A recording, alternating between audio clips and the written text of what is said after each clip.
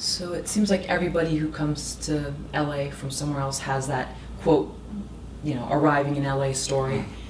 Tell us yours, Tennyson. How long ago was it, and what did you take away from it? What was the moral of the story? Well, I, I, okay. I don't know if it's a moral exactly. um, uh, so, okay. I got out here, I didn't know anybody in the industry, and uh, my background was in theater, and I had lots of stagecraft experience, and I kind of figured I was going to be able to get a job doing lighting or something.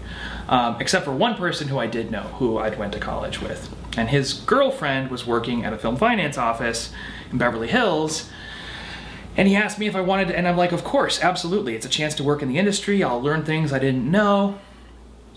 And I started making phone calls for investors at this little, very expensive office, which course legitimized it in my eyes, which is exactly what it was supposed to do. And then as soon as I closed the deal, I got fired so they wouldn't have to pay my commission. There was a little thing in the contract and I was, you know, I was young, I didn't know any better, I didn't know to call a lawyer or anything like that. And I spent my first holiday here homeless eating once every two days. Like just crashed right into Los Angeles, head first into the worst parts of the industry.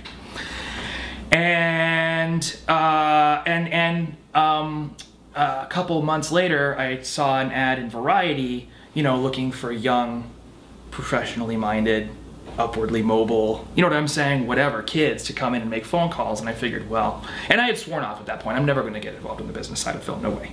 I'm going to find someone to do my stagecraft. But I got hungry and I said, I'm gonna give myself two weeks and go in and do this and then I'll find something else. And that's how I met um, the person who taught me basically everything I know about sales, everything I know about film finance, introduced me to, I, I wound up working on a show with Basil Poledouris, which was awesome. who is the composer, if you don't know, of RoboCop and Conan the Barbarian and, and, and, and um, The Hunt for Red October. He's a legend in the music side of film, and and a bunch of other cool people as well. And and uh, by and by, I wound up helping to build and found Unified Pictures with those people. So it turned out to be a really good thing.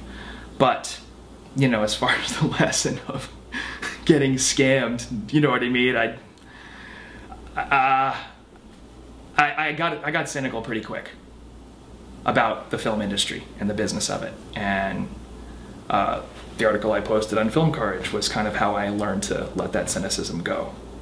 So I became, shall we say, wisely open by and by about my interactions with Hollywood.